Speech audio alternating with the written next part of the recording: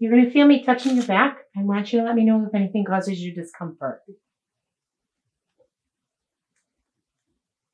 Anything here? Or over here? No. Okay.